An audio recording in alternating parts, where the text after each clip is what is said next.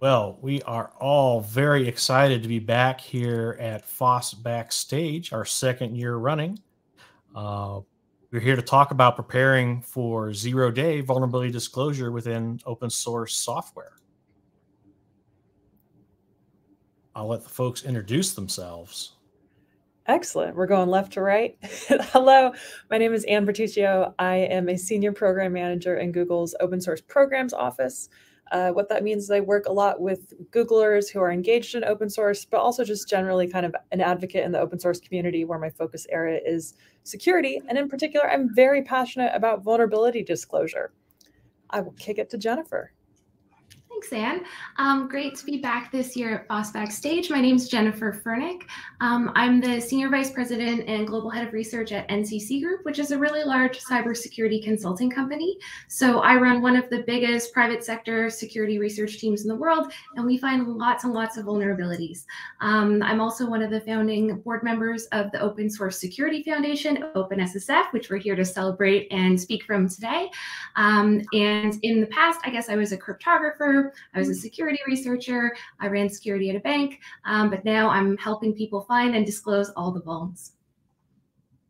CRob. Very nice. And I am CRob. I have had the great pleasure to work a very long time uh, doing security at assorted organizations. Uh, today, I'm currently a communications director for security issues for Intel, but historically, I worked with the uh, Red Hat product security team, and I am a involved in many, many, many upstream uh, ecosystem things like the OpenSSF, uh, FIRST, the bug bounty community of interest. So we have an exciting little panel here today. But before we started, we wanted to kind of set some context. So if I could ask, um, you know, the, the, panel here, could we maybe talk about some of these terms very quickly to help get everyone a, a base level information? That sounds great. Maybe to kick things off. So, we're here to talk about vulnerability disclosure, which is kind of a weird topic because there's not very much written down about it. It's kind of something that is secretly whispered amongst people in the know. And at OpenSSF and amongst ourselves, we really think this is a terrible idea because if more people knew how to receive vulnerabilities, how to report vulnerabilities, and how to communicate with each other, we could make the internet a lot more secure. So, the point in our presentation today is to demystify a lot of this stuff that is kind kind of in this like, you know, behind the scenes whispered conversations in the security community, because the more we all know about it, the better we can do. Um, so uh, maybe I'll hand off to either CRob or Anne if you guys want to talk through some of these definitions. Yeah, I think probably the first thing is, you know, in our, we said zero day, but let's maybe define first what is and is not a vulnerability, and then that term zero day because I think it's like a you see it thrown about in the press, thrown about on Twitter, and not everything's actually a zero day. So let's start with vulnerability. Um, you know, a vulnerability is a weakness in the software um, that is not working as intended, and it is causing adverse effects. We typically think about that in terms of data exfiltration, uh, data access, and uh, data integrity are kind of some big areas. So it is not just that this is a security issue where, oh, poor design choice, we really should have done this better, or oh, it's kind of a bug and it's maybe in a security component. Um, something is going wrong that is causing uh, something in that area the, you know, the data exfiltration, access, integrity to be compromised. And CRob, maybe you can, as a um, PSIRT, speak to what CVE is and what's going on with those numbers. I certainly can. So there needs to be a method with which different groups can share information about a common problem. CVE is that common language. It's um, a way, it's a descriptor that describes one particular security vulnerability. And that way, um, end consumers and even um, you know contributors to a project can understand I see CVE XYZ in this library. Well, some other distribution or product or something might have that same CVE. So now you understand that those two things were affected um, by this similar problem. And again, it's just CVE is just an identifier, and it's a way that we can kind of all make sure we're talking about the same thing. There might a lot of issues might look similar, but they might not at their root cause and uh, all the circumstances that led to them being there might not be the same. And then I think the, the most important concept and the whole reason why uh, disclosing zero days can be challenging would be our last topic. And maybe Jennifer could talk a little bit about embargo.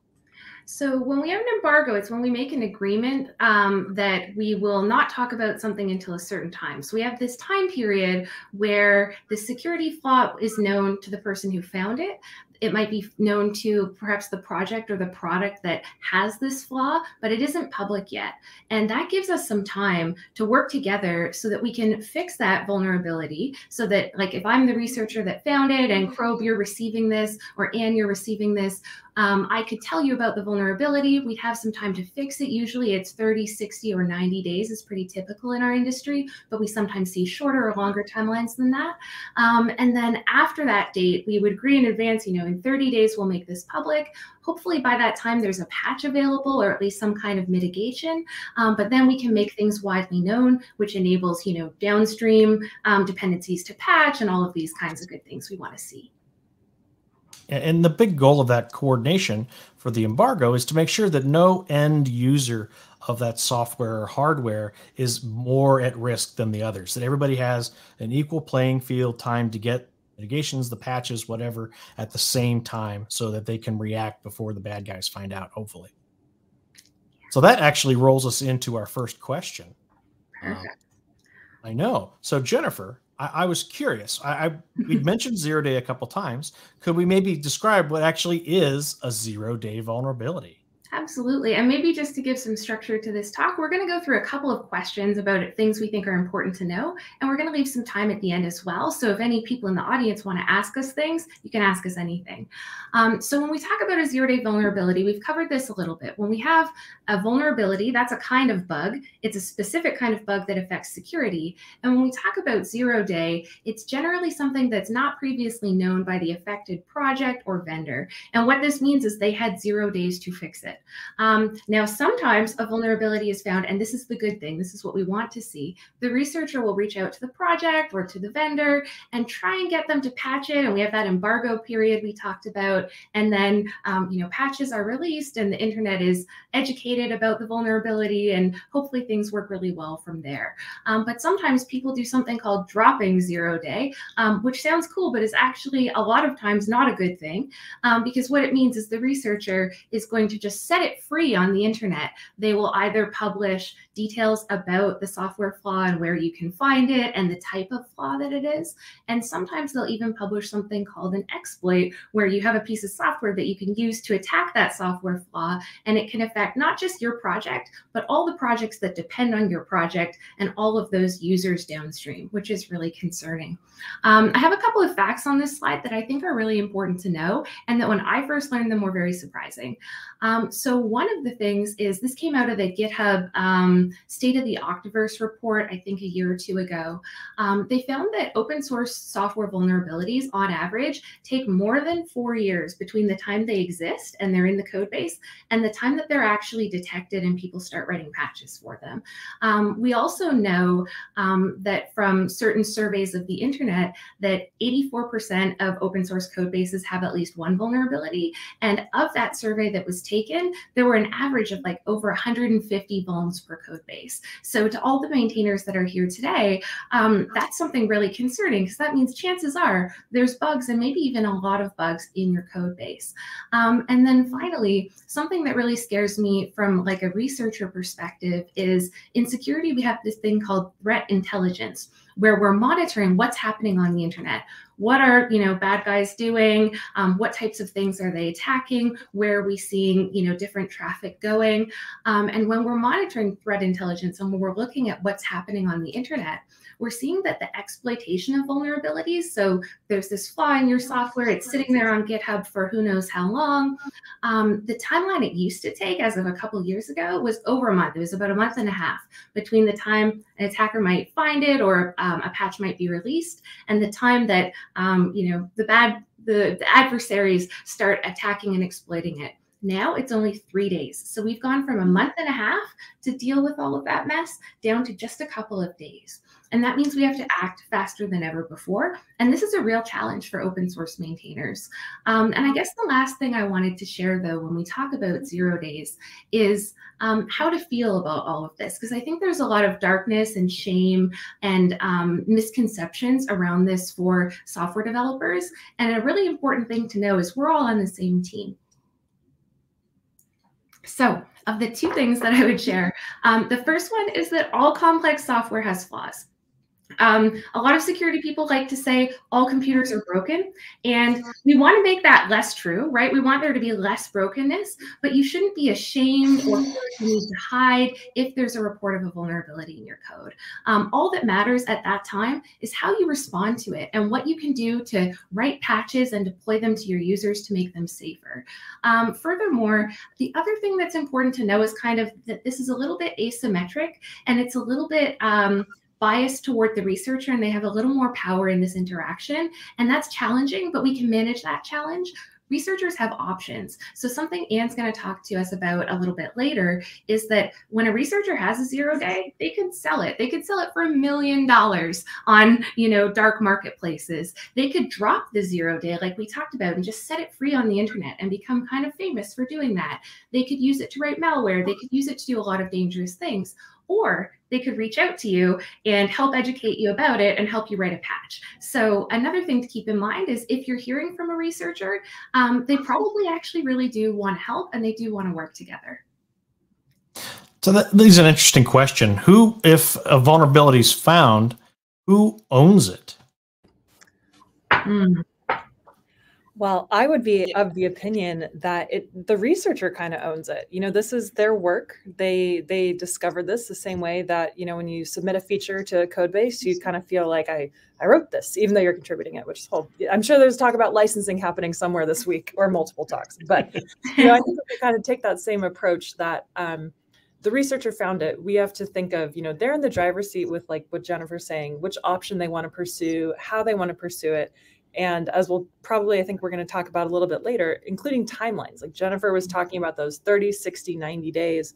Well you know if the researcher is like hey i for whatever reason it's really important to me that uh, this is disclosed in seven days you know there's it's kind of their right to to do that. This is something they found. Yeah, there's certainly when we talk about like um, ethics in coordinated disclosure, there's certainly things that I would consider more ethical behavior than other things, and everyone has a slightly different line as to where that is. But ultimately, the researcher is in the driver's seat. So whether they're doing things that you or I would agree with or not, we have to keep in mind that they're the ones sitting on the vulnerability, and we have to kind of work with what they're offering and accommodate as much as we can to make things as safe as we can within those parameters that they're going to share with us. And, and I would note, generally, if the researcher is approaching you, this isn't everybody, but if they are approaching you, they legitimately want to solve the problem and make things better. That's normally the motivation outside of financial or fame or the other motivating factors. A lot of researchers do just want to make the internet more safe and secure. I like a safe internet. um, so my next question would be focused to Anne. Uh, how do different projects you know share this information? I'm, I'm going to guess there's a lot of different coding languages a lot of different source code repositories a lot of different purposes for software. How do these projects share vulnerability information? Yeah. So you know we kind of um, jumped a little bit ahead in assuming that we're going to talk today about coordinated vulnerability disclosure and we'll there's a lovely slide and some resources that we can share to talk about what that is. But you know it is the assumption that the researchers reached out to you as the project maintainer and now you're going to want to coordinate somehow what are we going to do about this. Um, there are obviously some security concerns with how you're going to interact and share that information.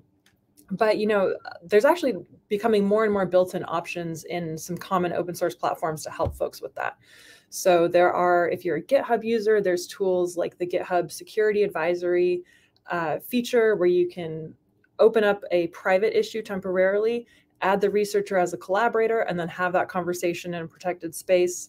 Um, I think, you know, in the years before where we had that, people were really focused on ensuring that we had encrypted communications between each other and that's something that some researchers might prefer to see. But I think other folks say, you know what, if you're using a um, kind of common email provider, that encryption is probably already there and that is the least of your problems. So if you're not comfortable signing your own emails and understanding how to work that, you know, a Gmail or something of the like is probably a-okay given you know, we're, make, we're making risk trade-offs here of priority number one, deal with the vulnerability. We can learn how to sign email later. um, so there's a lot of different uh, options that people can use. But I think one of the really important things as a maintainer is to be clear with potential um, reporters where where you want to receive that information. You want to make sure those directions are super clear. Um, we frequently call it a security policy. That's that security.md file in GitHub. I think a lot of other Gerrit-based platforms also use security.md, um, but just very clear directions on if you find something, here's how to get a hold of me. And I think there's also uh, depending on where you are in the supply chain, if you are consuming a library or a code from an upstream project, there's a lot of different ways these projects can share information. A lot of it's done through the source code management, like a, a Git based system. Uh, some of them use defect trackers like Bugzilla. Um, uh, some of the old school ones still use mailing lists, which is great. They might have a private mailing list, or it might be done publicly. Uh, there could be some type of forum, and when you get depending on you know the scope and scale of the software you're working on, you may have a dedicated security team of some type that uh, helps ingest and triage those issues and uh, help prioritize things for you. It just depends on how big your software is and kind of the, the group of folks you're collectively working with. And I believe, Anne, you have an excellent little example of just in general how CVD coordinated vulnerability disclosure is done. You want to share yes. a little bit? Yeah, we can kind of walk through this just at a really high level. Um, you know, we've talked about this researcher finds vulnerability.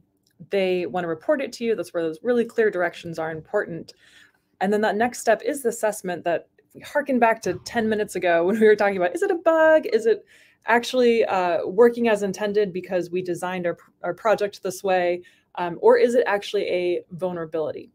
And we want to make that assessment and then communicate very clearly back to the reporter what our decision is about that. You know, um, if the there's a disagreement, it's good to have that conversation. Uh, actually, Jennifer, I think you've talked about a lot of researchers are um, interested in jumping on a call and explaining if there is that disagreement, what's going on and why, and what they saw um, being open to hearing from them. Um, and so then we decide, you know, yes, it is a vulnerability. We want to move on to that patching. Um, some something that I think is interesting is, uh, you know, sometimes researchers are actually really excited to work on a patch. Sometimes they're they're not.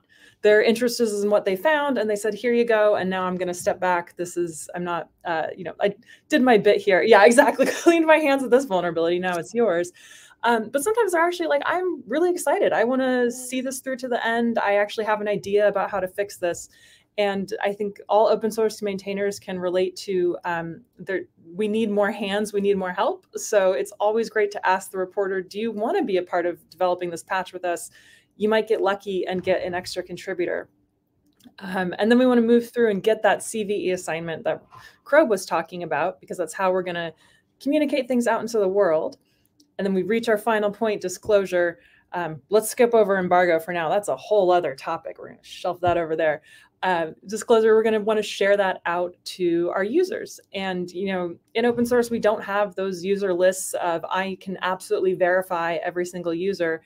Um, so we want to put things pretty publicly. Maybe that's on our project mailing list. It might be on our GitHub in the security tab. Uh, you know, some projects set up bigger ones, like I think Kubernetes is a good example, I believe there's a specific security announce list just because of the high amount of mm-hmm. mailing list traffic. Um, so thinking about, you know, once we have that CVE number and we release it, there's no benefit to keeping it private. We want to make sure users can find this information to have get access to it. So widely distributing, here's the patch, here's the affected versions, here's what you should do. Yeah, and there's a lot of different techniques there. You may publish a security bulletin or advisory if you're a large team. You might just have a comment in your Git repo, um, but it's very important. You want to notify those downstream of you uh, on some level that found a problem. here's how to fix it or what we did to respond to it, and uh, you know, make sure that everybody is uh, able to get treatment. We, we've talked about. Uh, oh well, well, let's talk about this really quick. I saw this jumped in. Um, what should we expect from researchers during a, a vulnerability disclosure? Yeah, I added this one in toward you know the very end of our time preparing for this presentation because I don't think there's good norms um, that are widely known about what is sketchy and what is reasonable good behavior in this type of interaction. So here's some things you can expect, and here's some things you should like. Definitely, it's a red flag not accept those terms. Um, so things you'll see from a researcher, it's likely that they'll want to know when you intend to patch. And that's often because they're very invested in the vulnerability being remediated. But there also might be other reasons around getting CVEs, or they might want to talk about the research. And knowing when it's going to be patched allows those researchers that are trying to do this ethically, that want the internet to be a safer place, to know when they can start doing those things. And there are these typical um, notification windows. Um, it's very likely that your researcher will want to obtain a CVE. It's cool for them, coolness points, but it's also very important, as we've mentioned, to help people coordinate and understand and see where these flaws are are in what versions of what software so that they can patch. Um, a researcher is likely to publish their own technical advisory, which will often look a lot like the bug report you initially receive, where they talk about, you know, what is the impact, what is the vuln, um, how maybe they might give a rating of how severe the problem is, a recommendation of how they might fix it, and a timeline. So they're going to keep track of, I emailed this project on November 10th. And this project responded to me on November 11th. And they're going to keep track of all of those important milestones. And that will eventually be made public by most researchers when they publish um, about the flaw and the fix. Um, and it's often the case that researchers will do a blog post or a conference presentation about their findings, especially if it's high impact, to help educate the community about this type of flaw and also about how it's remediated.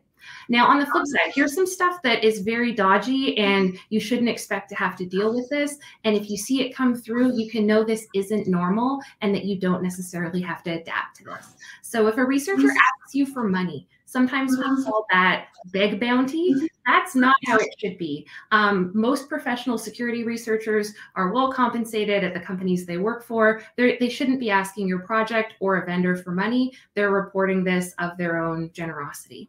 Um, any kind of extortion, bribery, um, sketchy or illegal activity that shouldn't be coming up. Um, they shouldn't be asking for privileged access to your machine or to your project's infrastructure. They shouldn't be having you run code that you don't know what it is on your machines.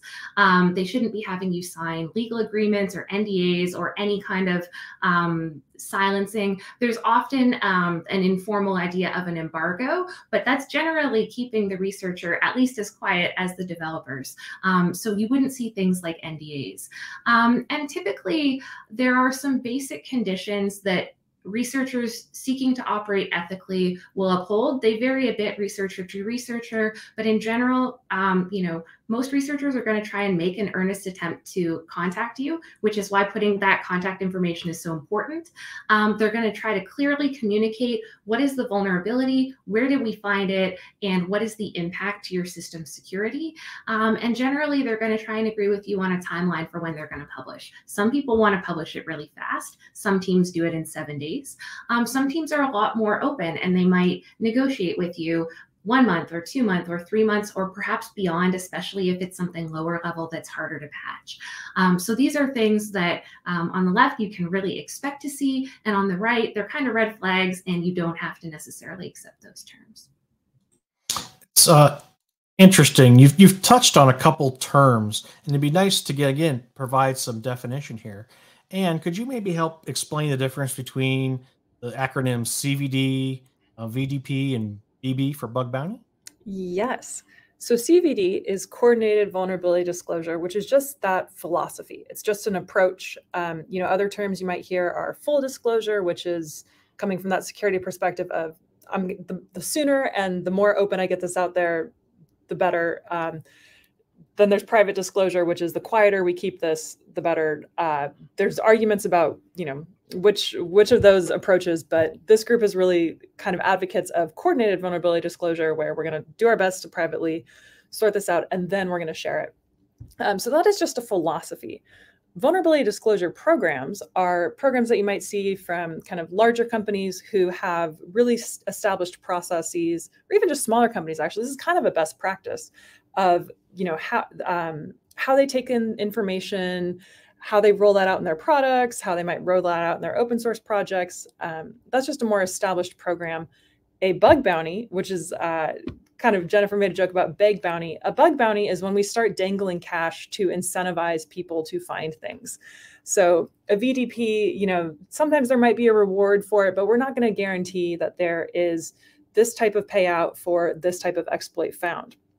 A bug bounty is really turning on that fire hose of saying, we are ready to take in vulnerability reports, we're ready to patch things, let's find as much stuff as we can, and we're going to incentivize that with money.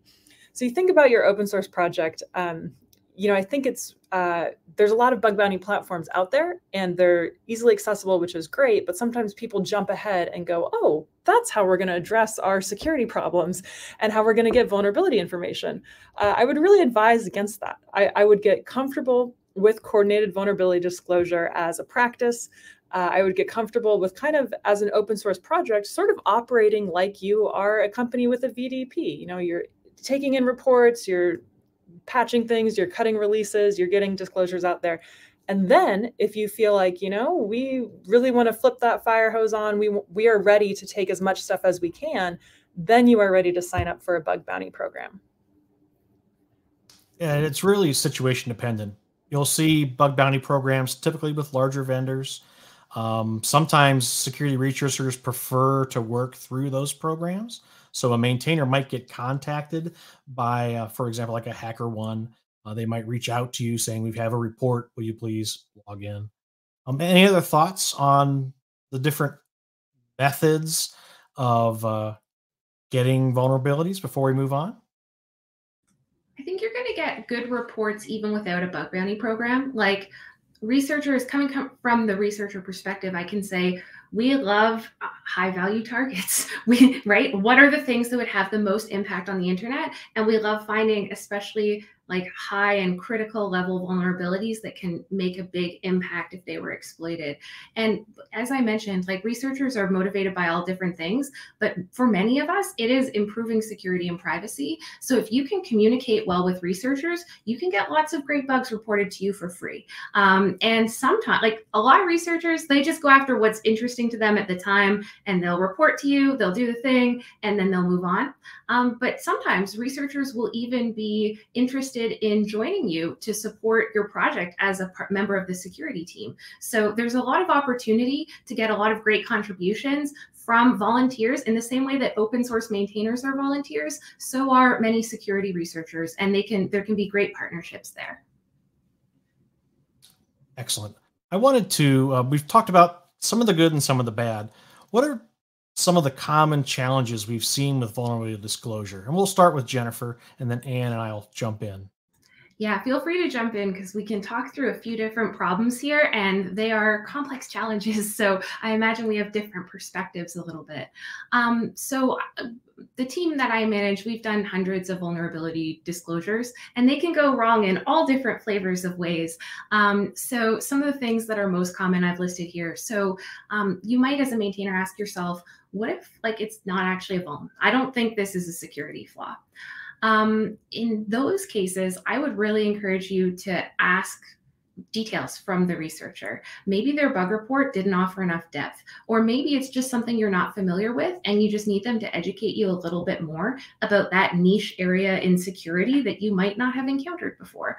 Um, typically, if a researcher has found something, but especially if they have a POC or a proof of concept um, where they can show you that it's exploitable, um, it probably is a security flaw. And the real thing here is to open the lines of communication and ask questions until you understand how it's a flaw because um, a lot of things look like they're probably fine, but they're actually very dangerous. Um, another question that often comes up is like, what if we can't patch this bug or if we don't know how to patch it? And those are kind of two separate questions. Um, so when bugs can't be patched, that's most commonly if it's in hardware and you just can't write a software patch for it. Um, sometimes there's like backwards compatibility issues, or the flaw is actually something that supports an intended feature of the software. So, like patching it destroys that piece of what you're trying to do. In those cases, I mean, again, it's a lot about communicating with the researcher and understanding the flaw and seeing if there are compensating controls. Are there other things you can do that are not a perfect fix, but that maybe mitigate some of the damage. Um, and I think just making that risk based decision while learning from the researcher about the danger of the flaw can help kind of inform what to do. But sometimes maintainers don't know how to write the patch. And I think that's very reasonable. I mean, we, we at OpenSSF, we were looking at all of these um, computer science and software engineering curricula around the world, and almost none of them taught secure coding. So, like, even the best developers in the world from the most like reputable companies in the world or the biggest open source projects may not know how to write patches for all of the weird stuff that can come up, and that's very normal. Um, in my in those cases, my best advice is to ask the researcher, like just ask them, like, what would a patch like this look like, or you know, what line of code are you seeing this in, and how would you recommend, or do you have any resources I could read about this type of software flaw? And often they'll educate you. Um, on our side, from the researcher side, when um, uh, vendors or maintainers go quiet on us, the thing I most frequently offer is like, hey, can we have like a quick phone call and we can answer any questions you have? And often it's just because the person we're working with, there's a piece of information they need that they're actively trying to find out. Because, like computer people, we love looking up our own details and doing things for ourselves, but you can really just ask and get a lot of help. Um, the third one is hard because what if the researcher and I disagree on publication timelines for vuln release? Um, I'm going to defer to Anne and CRob here. Uh, who gets to ultimately decide the publication timeline? Is it the researcher or the maintainer or vendor? Yes. I think it's the researcher. well, Go ahead. I agree. It, it's the researcher, but depending on how complex the problem is, what the project, what who the constituents of the project are that are working on it. So a problem in a library that does spell check has a different scope and a different team of capabilities than like the kernel team. So some issues may be more complex, and you have to bring in other subject matter experts on the team. So the um, maintainer, the supplier, whoever is being getting this report or that is involved, may request that they need more time because they have to include other parties. They this is or they understand that the scope of this issue is much more broad than the particular package or library. They need to get they need to coordinate across an industry to get more people involved. But I agree with Anne that generally it's the researcher, but there is negotiation. That's oh, absolutely. Oh, sorry. Yeah. Go ahead, Anne. No, I was gonna say it's that's why I think these lines of communication and not being afraid to talk to your researchers is really important because they might come back and you know say I want to disclose this in so many days because I've got this conference deadline, yeah. uh, and then you know you start working on it, you realize like CRob was saying this patch is going to be more complicated. Uh, share that with the researcher you know this is all human human interaction after all and being able to say like ah we are trying our best we really want to figure this out we think it is this type of severity it's going to have this sort of blast radius on our project do you think you could wait uh, we know you have this conference coming up maybe here's a compromise solution um, just put those things out there you yeah. know you never know what people are going to be willing to to sort out and make happen um, if you just kind of share nothing you're you're going to be left with whatever the first offer was. Yeah. Um, those are great points around communication because on our side, it's like sometimes if a vendor goes or a project would go, uh, we will patch it in a year. The researcher will probably go, ha ha ha, no. But if they say, okay, we need one week to do this investigation, and a week we're going to get back to you, and a week they come back and say, it has all of these upstream problems that we didn't anticipate. This is really hard to patch for these reasons. Here's why we think it's going to take us a year or six months or whatever this length of time is. Then we're a lot more open minded because researchers in general are wanting to see this thing patched. Um, if you say a year to us, that often means, ah, you don't want to deal with this until maybe you've been promoted into a different job and this is someone else's problem or whatever.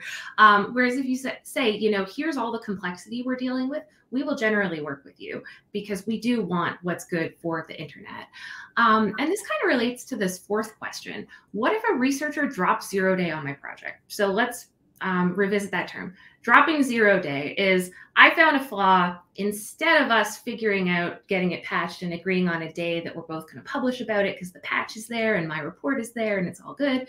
Um, that's if I were the researcher and I were just going to publish it on the internet way before you can patch it, maybe before I've told you or on a different date than we agreed. Um, and it's just free on the internet and attackers can come after it because we haven't got a patch yet. Um, so in general, I try to discourage researchers from dropping zero day. Most of the time, there's a way we can work together to find a better solution than that. But sometimes there are legitimate reasons to drop zero day, or there are things that a researcher in their own evaluation believes is a legitimate, legitimate reason.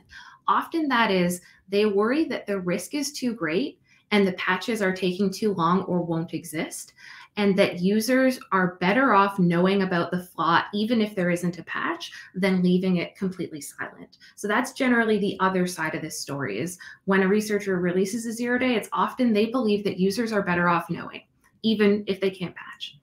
Um, so how do you as a maintainer or a developer or you know a vendor deal with this?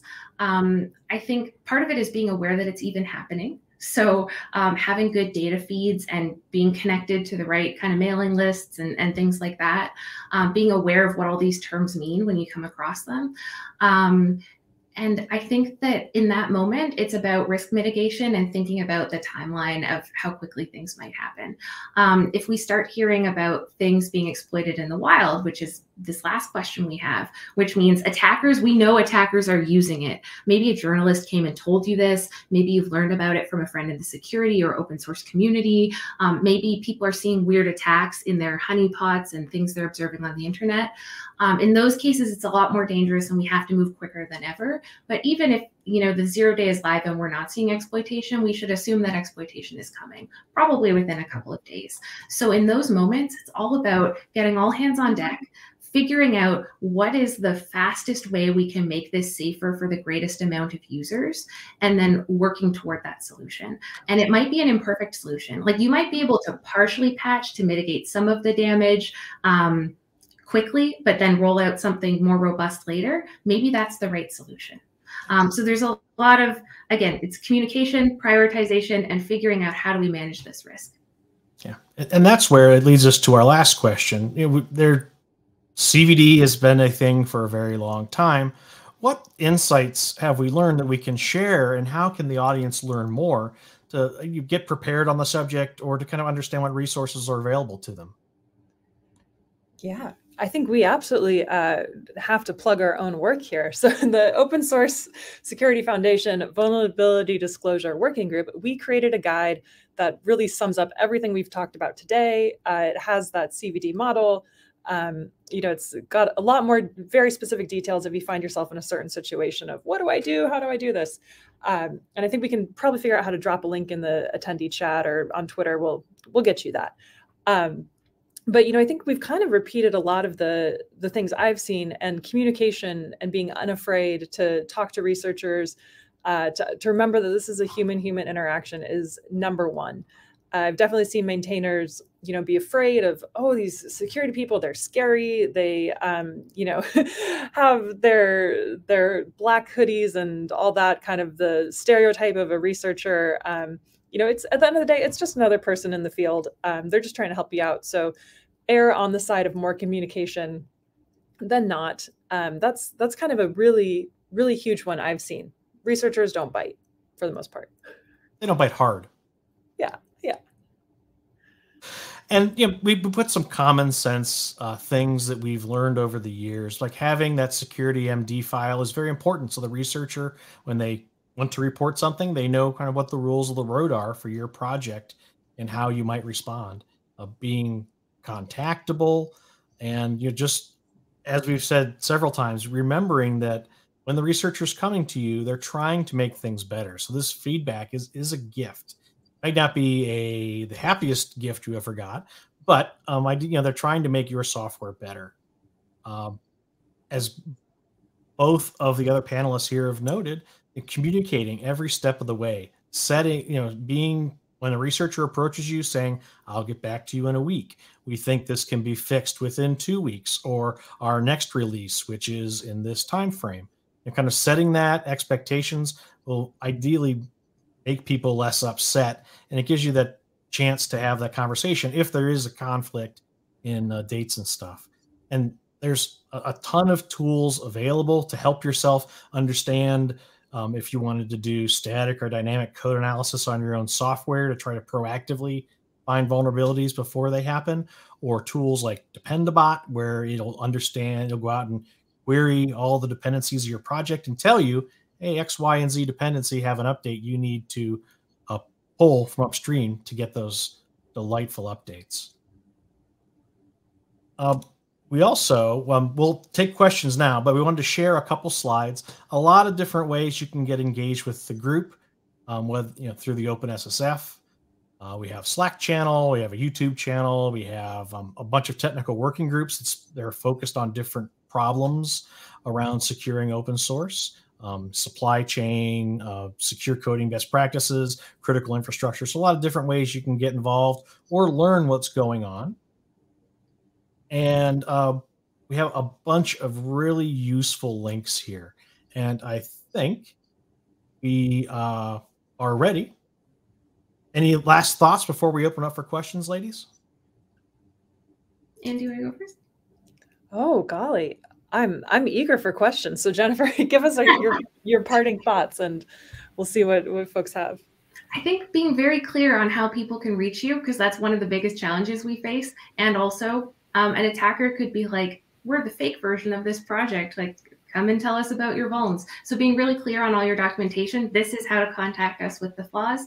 Um, I think that's important. Another one is make friends with security researchers. Um, make friends with us. We will meet you in the um, oh, Alex, what's it called? The uh, social lounge, Wonder Bounce oh, Lounge. The Wonder Spatial Lounge. Yes, Spatial Lounge. Make friends with security researchers um, because if you ever have these problems in the future and you don't really know where to turn, um, it can be to us. And I think finally, um, if you find any of what we've said controversial or confusing or inadequate today, that's great. You should join us at our next OpenSSF Vulnerability Disclosure Working Group meeting and say, what you are doing is not working for me. Here's what I need, or here's what I don't understand to help us improve um, the outreach we're trying to do, and also the guidance and the coordination and everything we're trying to do around vulnerability disclosure.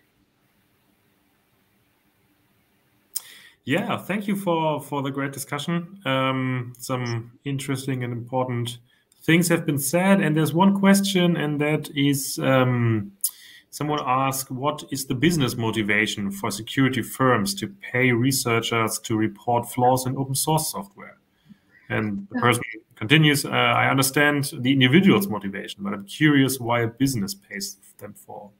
That's a great question. Um, so the company I work for, I guess I'm not speaking for them. I'm speaking for me. But um, I, I work at NCC Group, which is one of the largest security consulting firms, and I run the research division. And we take um, you know, hundreds of thousands, let's be honest, millions of dollars worth of our consultants' time per year to do security research and find flaws and report them to vendors. Um, and our motivation for doing this is firstly to improve the security of the internet, which is valuable to our staff. And that's why they want to do it. And that's why they value working at a place that gives them paid time to do that. Um, but second of all, it's good for us as a firm because it means that it keeps our staff skills sharp. We're really good at finding vulns. And when we talk about that uh, and the successes we've had in getting things patched at conferences or on our blog, check out our research blog, research.nccgroup.com. Um, it helps uh, our potential clients who pay us to look for vulnerabilities in their own software. Um, it it promotes you know the skills that we have and the abilities that we have. So it's a very positive thing where it's good for the researchers, it's good for the internet, it's good for the projects, and it's good for the companies that sponsor it.